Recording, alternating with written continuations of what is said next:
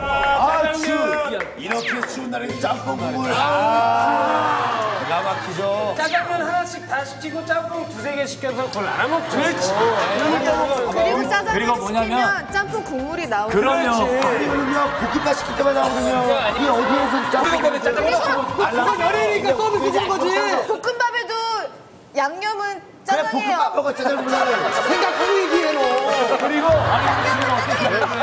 제일 중요한 건 형님. 짜장이에요. 이런 유명한 노래가 있습니다. 어머님은 짜장면이 싫다고 하셨어. 어머님이 그날 그러신 거지. 두분 형님이 그러시는 건 아니에요. 짬뽕 먹을 때 국물이 옷에 튀면 하루를 못 보내요. 그건 아시죠 거. 다른 거보다 형님 매운 거 좋아하세요? 매운 거 매운 거? 좋아해요. 좋아하실 거예요. 형 매운 거. 좋죠. 아니 사촌 있잖아요. 저기요 짜장에 고춧가루 뿌리면 얼마나 매콤하게 맛있는데요. 저기요 혹시 저두 분이 중국집에 가시면 평소에 솔직히 뭘 시켜 드시는지 좀. 뭘 드세요? 솔직하게 정혁 씨. 뭐 짬, 짜장. 짬짜면도 짜장, 먹고 짬짜면. 짬짜면도 먹고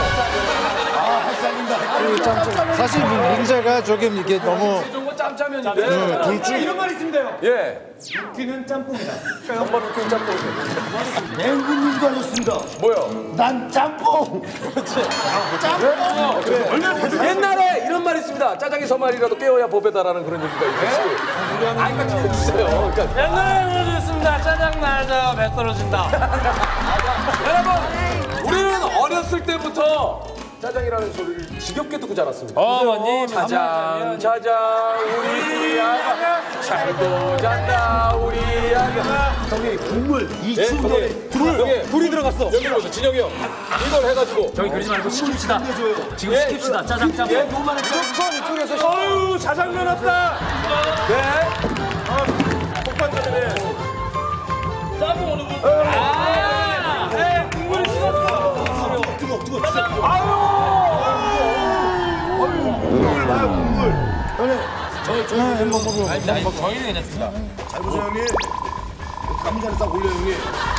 중자 살짝 뒤에 내려. 와, 아우, 맛있겠다. 아우, 맛있겠다. 불 같이 거기서. 그렇지! 어.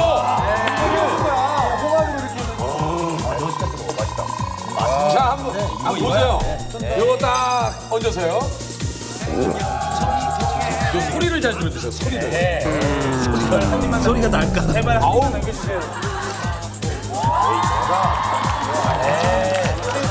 저희 보세요.